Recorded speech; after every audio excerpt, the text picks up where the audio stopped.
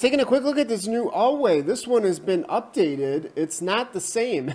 you know, it looks the same.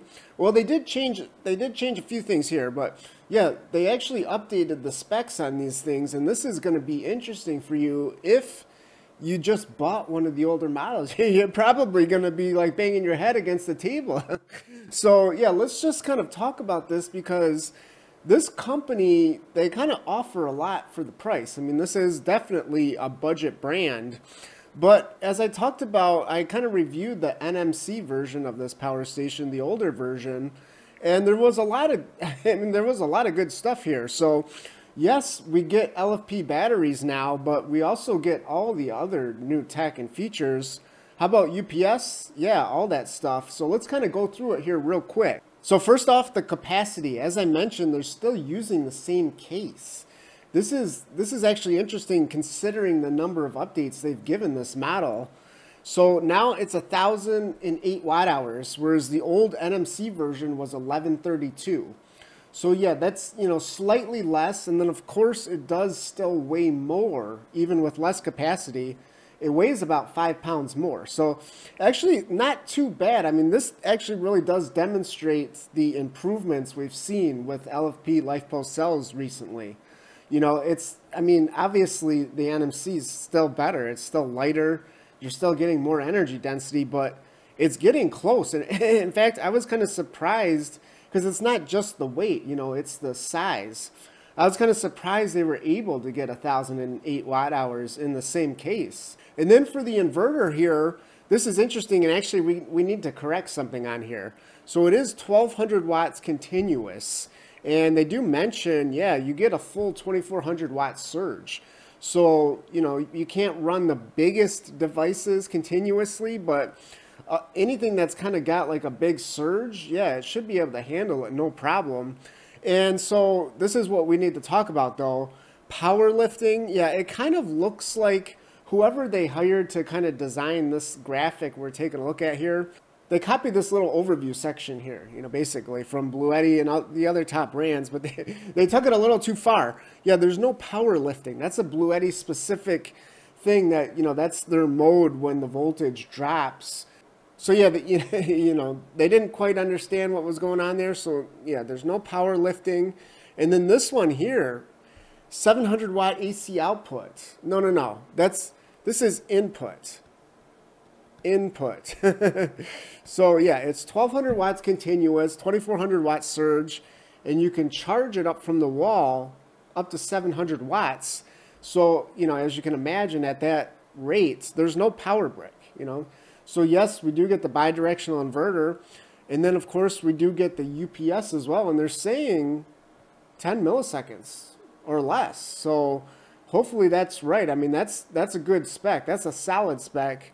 You don't got to worry about, you know, if you're using it with your computer, you don't got to worry about it not working at that speed.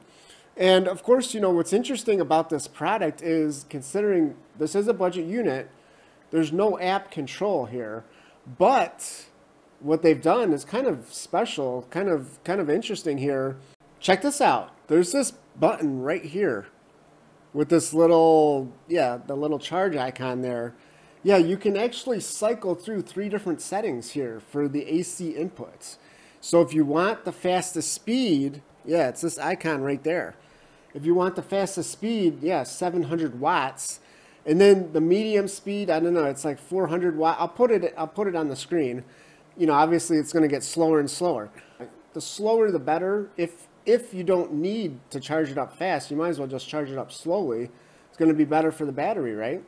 So this is cool because yeah, no app. And in fact, this is I just love this feature. Even even if you make a power station with an app, it's just nice to have that because not everybody wants to use the app. And you know, maybe you just don't want to it's just this is going to be easier, isn't it? I mean, it, it is. So yeah, I kind of wish we could see more of this. You know, EcoFlow, they had the one switch. I, they used to have it. I think they started getting rid of it. But this is awesome. Just, you know, a button to be able to actually cycle through multiple options. And then guess what? There's, there's another setting here that you can actually do from the unit. It's the USB button. You can actually hold it and then you can cycle through the different eco modes, the kind of auto shut off modes.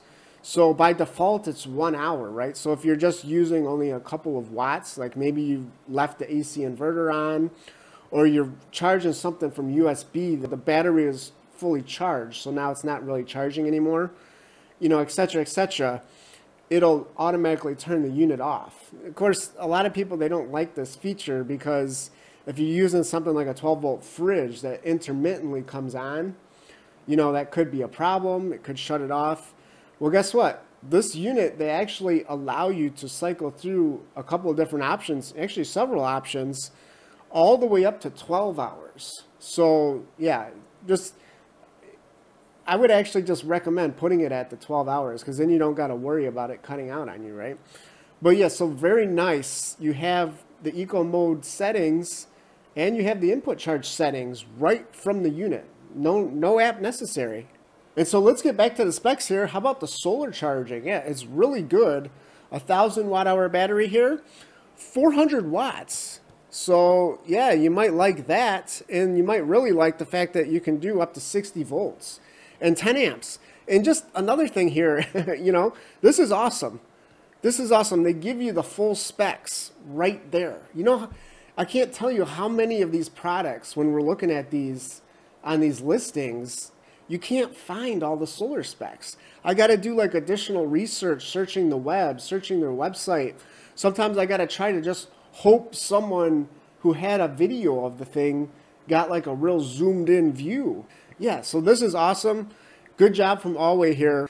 And then, of course, the downside of this. What is it? Uh, yeah, it's the cable. This is the one thing that they did not update. I, I can't believe they updated so many things on this product.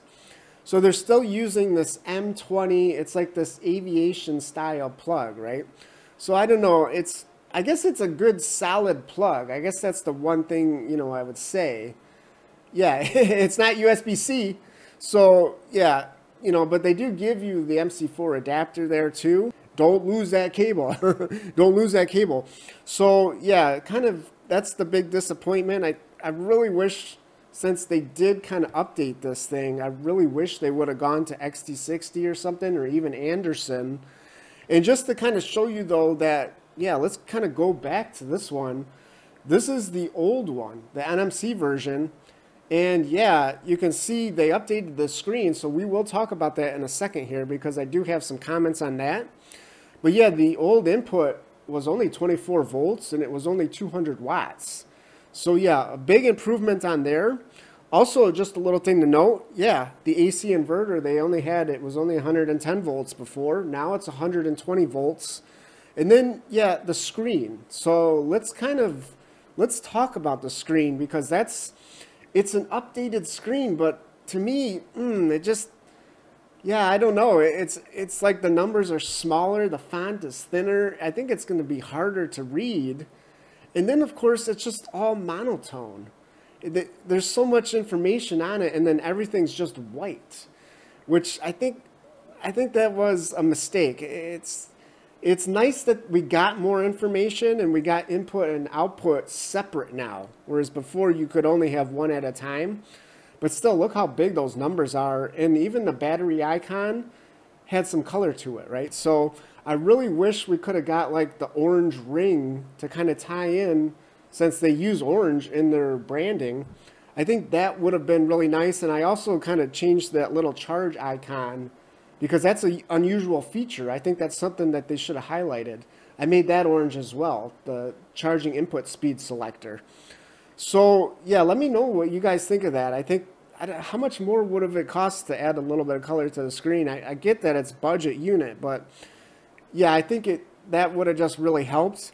And then of course, let's talk about the USB. So yeah, there's no 100 watt USB-C here. It's just there's just 260 watts which actually, I don't know, you know, a lot of times when we do get a 100 watt USB-C, the other USB-Cs are only 20 watts, right?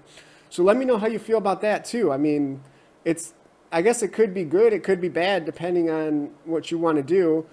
And then everything else, like I said, it's pretty much the same case, which is actually a good thing. I was happy with this design because we get the handles tucked into the side of the unit with the flat top. It just, it makes it a clean, compact design, you know, but you can still pick it up. So, and then of course we do get the light on the side as well, which is which is good. It's not on the front, it's not gonna blind you. As, as long as you don't have it shining right in your face. and if you want something that can power big loads continuously, they did they did have the NMC version, they did have a 2000 watt version. So I assume at some point there will be an LFP version that has a bigger inverter. So if you want to hold out for that, but still, like I said, this is kind of my favorite size, you know, because you can do, you can still do everything you need to do as far as cooking and heating if you get the right appliance with a 1200 watt inverter. And then you just have something that's a little bit more efficient, it's going to be a little bit lighter and you still have a thousand watt hours to work with and with 400 watts of solar going in or just being able to charge it up in about an hour and a half from the wall if you need to at a friend's house whatever. This has everything that you really need. No it's not going to power everything in your house.